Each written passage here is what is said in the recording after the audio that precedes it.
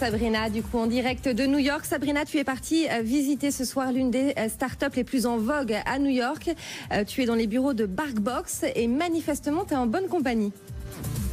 Ah oui, j'ai beaucoup de chance ce soir. hein. Je suis avec Stéphanie et David. Non, c'est pas vrai. C'est Gisèle, Gisèle et Noodle. Noodle qui est pas content là. Un petit mot à dire peut-être à Stéphanie et David? Ah, ben voilà. Bon, allez, c'est The Hottest Place in New York, la start-up qui cartonne parce que ben, tout, bien sûr, tourne autour de ces adorables petits êtres. Les chiens, c'est Barkbox. Barkbox, société qui a été créée ici à New York, donc en 2012 et qui cartonne depuis. Euh, C'était en 2017 un chiffre d'affaires de 150 millions de dollars. On devrait euh, cette année passer à 250 millions de dollars. Oui, un Disney s'impose une nouvelle fois comme le studio de l'année. Le groupe vient en effet de dépasser les 10 milliards de dollars de recettes au box-office. C'est l'indétrônable Reine des Neiges, bien sûr, qui a permis au royaume de Mickey et de Minnie d'afficher ce record. Andrea Bocelli, Bonjour. Cacciere. Bonjour à tout le monde. Un honneur de vous avoir ici au, au Nasdaq. Déjà, quel effet ça fait d'être ici au Nasdaq, premier chanteur italien à faire l'ouverture des marchés euh, financiers? Je pense que oui. Sì, è, è- è- è- è stato molto strano, molto curioso per me. C'est une chose très étrange pour moi, mais c'est aussi une grande opportunité de présenter ma fondation au monde entier. Feka qui a reçu la distinction des mains d'une amie de longue date, la reine du lifestyle aux États-Unis, Martha Stewart.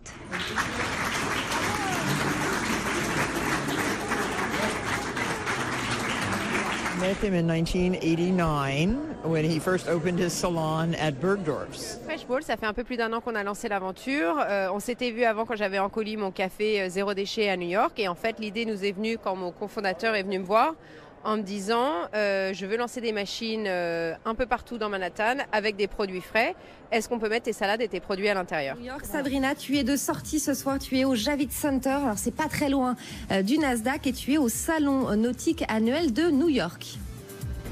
Ah oui, Stéphanie, en plein hiver avec euh, des températures glaciales ici à New York. Je peux vous dire que ça vous fait du bien, euh, eh bien d'être ici à ce salon, de rêver un tout petit peu grâce à cette 113e édition du salon nautique de euh, New York. En plus, bah, ils ont tous le sourire ici parce que, eh bien, euh, le contexte est très favorable.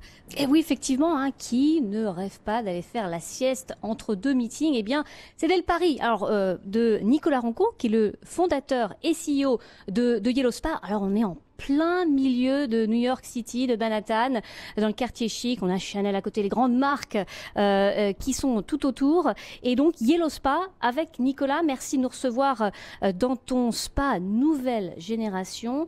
T'as vu ça quand même il y a un petit moment, mais ça explose véritablement depuis deux ans. Est-ce que tu peux nous expliquer pourquoi?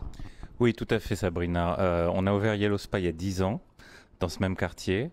Et euh, aujourd'hui, en fait, depuis deux ans, on sent une explosion des préoccupations des consommateurs vis-à-vis de leur santé. Oui, un gros buzz effectivement autour de ce listing. C'est l'appartement le plus cher du moment à New York et c'est vous Raphaël qui vous en occupez 98 millions euh, de dollars hein, c'est le montant qu'il va falloir débourser On est vraiment entre le Chrysler Building, l'Empire State Building.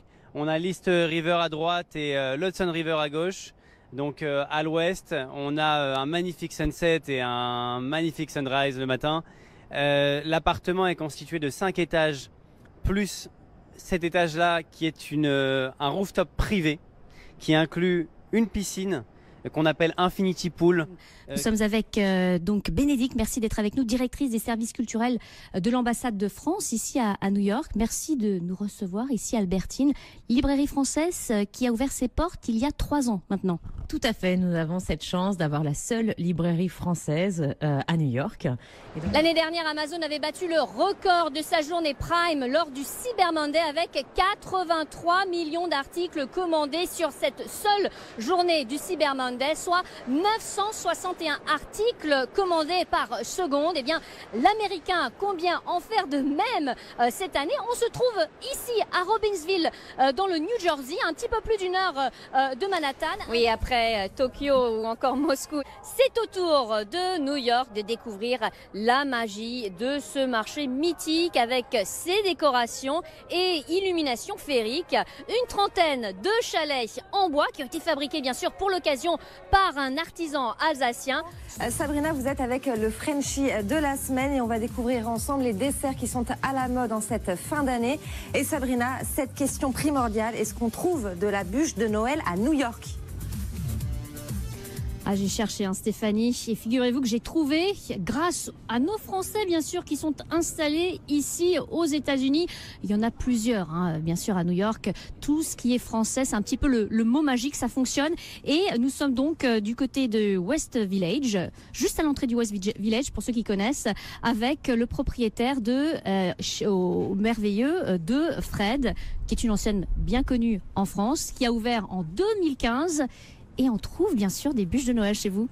Eh ben oui, on trouve les bûches de Noël, les mêmes qu'à Paris. Eh ben on s'intéresse. Allez, à leur aventure américaine, c'est parti.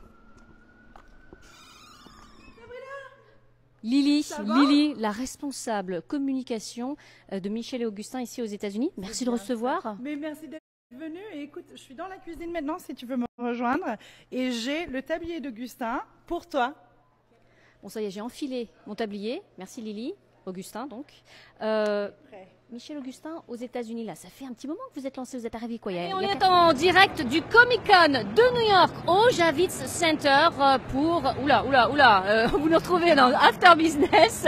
C'est génial, c'est le plus grand rassemblement des geeks. À tout à l'heure. Euh, ça n'a rien à voir avec, euh, vous savez, les, les Amazon Go, ces supermarchés sans caisse ou encore les librairies Amazon. On en a d'ailleurs une, une, ici à New York. Là, on est vraiment dans un magasin d'un tout autre genre. Oui, un grand choix à l'américaine pour cette Formule 1 euh, des mers.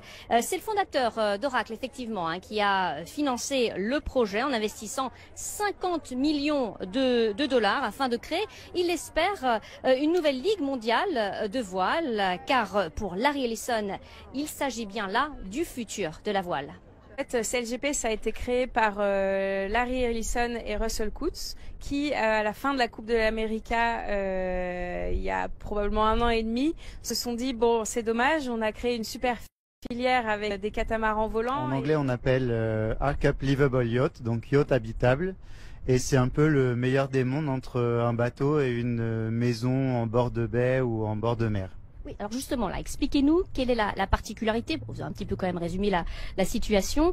Euh, vous allez nous faire visiter, bien sûr, euh, euh, cette villa flottante.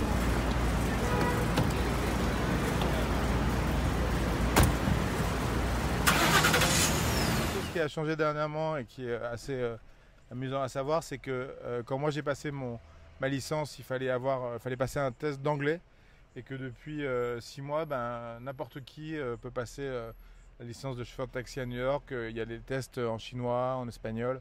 Donc voilà, mais il faut, un, il faut un permis de conduire. Après, je sais qu'il y a des chauffeurs qui se repassent les licences. Donc après, on ne sait jamais qui on a vraiment au volant, mais en général, c'est plutôt assez quand même contrôlé.